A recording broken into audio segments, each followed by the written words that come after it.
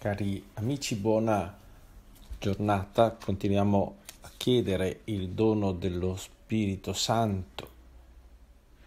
Oggi è festa di San Filippo Neri e preghiamo lo Spirito perché infiammi anche il nostro cuore come ha infiammato il cuore di questo grande santo. Ascoltiamo oggi un testo del Vangelo di Giovanni, capitolo 17 Ricordiamo che Gesù durante l'ultima cena, dopo il gesto di lavare i piedi, ha parlato a lungo con i discepoli.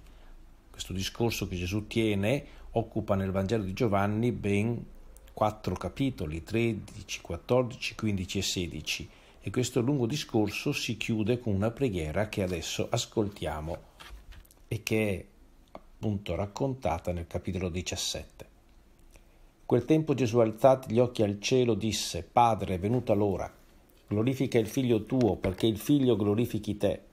Tu gli hai dato potere su ogni essere umano, perché egli dia la vita eterna a tutti coloro che gli hai dato.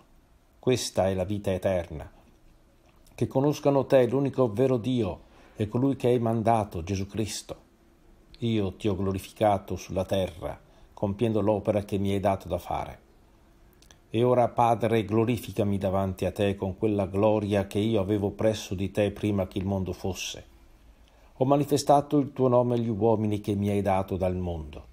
Erano tuoi e li hai dati a me, ed essi hanno osservato la tua parola.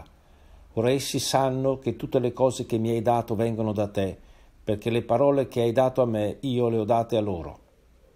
Essi le hanno accolte e sanno veramente che sono uscito da te e hanno creduto che tu mi hai mandato. Io prego per loro, non prego per il mondo, ma per coloro che tu mi hai dato, perché sono tuoi. Tutte le cose mie sono tue e le tue sono mie, e io sono glorificato in loro. Io non sono più nel mondo, essi invece sono nel mondo e io vengo a te. Gesù alza gli occhi al cielo come aveva fatto davanti alla tomba di Lazzaro. Il movimento degli occhi descrive il segreto della vita intima di Gesù.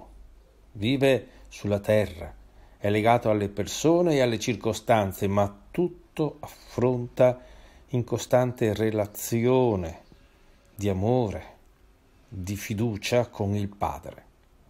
E la parola Padre è la prima parola della preghiera, è la verità della preghiera. Gesù prega proprio perché Dio è Padre. Ogni parola, ogni azione di Gesù è nata da questa relazione ed è per questo che anche insegna ai discepoli a pregare, chiedete vi sarà dato, perché Dio è Padre. È il Padre che gli ha dato i discepoli, è il Padre che gli ha dato l'opera da compiere. Tutto ciò che ha, che ha compiuto, è originato dal Padre. Al Padre dice è giunta l'ora. Gesù aveva riconosciuto la venuta dell'ora dopo la sua entrata solenne a Gerusalemme. Anche in quell'occasione aveva pregato il Padre. Aveva pregato perché il padre lo liberasse dall'ora, perché l'ora ha un aspetto anche tragico, ma poi aveva aggiunto nella preghiera, ma sono giunto per compiere quest'ora, per portare fino al suo compimento quest'ora. E anche prima di lavare i piedi dei discepoli, l'Evangelista Giovanni aveva detto era è giunta l'ora e aveva anche precisato che dire che l'ora era giunta voleva dire che era giunto il momento del passaggio di Gesù al Padre. È raggiunto il momento per Gesù di portare fino alla fine l'amore verso il Padre e verso i discepoli. Questa è l'ora. L'ora del passaggio al Padre, l'ora del compimento dell'amore. E che cosa chiede Gesù nella preghiera? Chiede Padre, glorifica il Figlio, perché il Figlio glorifichi te. dunque un duplice movimento di gloria. Innanzitutto Gesù chiede al Padre che gli dia gloria. La gloria che il Padre dà al Figlio è la gloria di, che il Figlio in realtà ha dall'inizio del mondo, in quanto Verbo è presso il Padre prima che il mondo fosse. Dunque il Figlio partecipa della gloria, cioè della vita divina di Gesù, di Dio, fin dall'inizio della creazione, perché da sempre appartiene alla vita di Dio. Ora però, quando chiede glorificami, che cosa chiede? Chiede che questa condizione sia partecipata alla sua carne che ha assunto con la sua venuta nel mondo.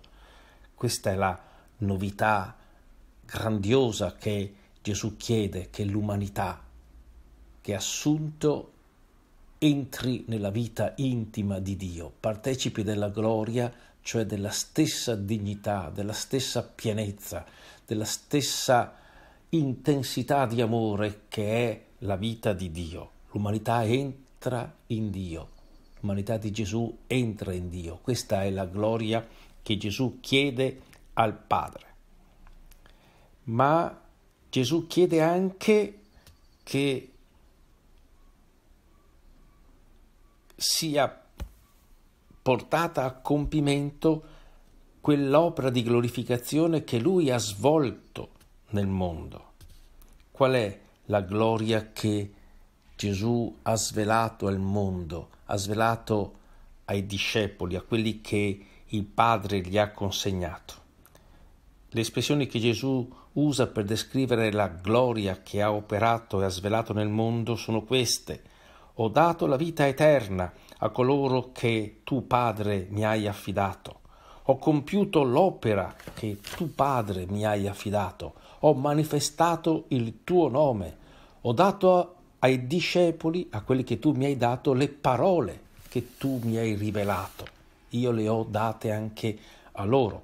Dunque, la gloria che Gesù ha manifestato, la gloria con cui Gesù ha dato gloria, ripeto la parola gloria al Padre, è stato quello di attirare i discepoli nella vita eterna, rivelando il suo volto di Padre, rivelando l'amore di Dio, rivelando il destino che ogni uomo ha, quello di essere chiamato a partecipare alla vita di figlio, a entrare nella vita eterna. Ecco, io credo che questo sia un punto su cui possiamo meditare. Gesù rivela che il, la gioia più profonda, la realizzazione più grande della sua vita è che l'umanità finalmente entri nella vita di Dio, la sua come figlio, ma per attrazione anche tutti coloro che hanno accolto la sua parola. Ecco, in questa preghiera che Gesù fa riconosciamo la grandezza del nostro destino, destino glorioso, quello di partecipare alla vita stessa di Dio. E non sono parole che descrivono una realtà astratta. Pensiamo a San Filippo Neri, questo santo che oggi ricordiamo, che ha inciso profondamente nella storia della sua epoca, che ha fatto come contagiare di gioia tante persone nel nome di Gesù. Lo si vedeva, così si racconta nella sua vita, passeggiare per strada gettando in aria il cappello gridando paradiso, paradiso cioè questa prospettiva della vita eterna, questa gloria che ci è promessa, realmente cambia la vita, la determina in maniera positiva. Pensiamo alla prima grande espressione, una grande espressione poetica di San Francesco che a San Leo ha fatto una predica, è salito su un muretto e ha detto quella famosa frase è tanto il bene che io mi aspetto, che ogni pena mi è diletto. La prospettiva della vita eterna realmente trasforma la vita, la inonda di una gloria. Chiediamo al Signore che prega per noi, prego per loro, dice, non prega per il mondo, non tanto perché Gesù non abbia a cuore la sorte di tutti. Dio Padre vuole la salvezza di tutti, ha mandato il figlio, ha tanto amato il mondo da dare il figlio. E Gesù, quando sarà inertato sulla croce, attirerà tutti. Ma in questa preghiera prega per la comunità, prega per quelli che hanno accolto la sua parola, perché questa prospettiva di gloria, questa prospettiva di vita eterna, questa prospettiva che si apre per chi conserva le sue parole, diventi luce per tutti e la comunità diventi una comunità significativa. Crediamo e preghiamo perché realmente la nostra comunità di credenti testimoni la passione per la vita eterna, per il bene che ci aspetta, per questa gloria che già trasforma il presente, perché lo apre a questa prospettiva del futuro.